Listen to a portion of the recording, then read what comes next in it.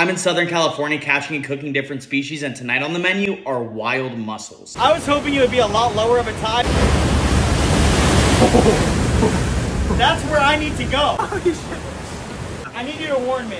Okay, all right. Andrew, where's my warning? Oh, you're safe. Oh, oh, oh, you good? Light work, baby. That was light work. We got this many so far. You're gonna get a bowl full of ice water and add salt to it. You're gonna put in your mussels, and any mussels that float to the top after 20 minutes are dead, and you should get them out of your dish.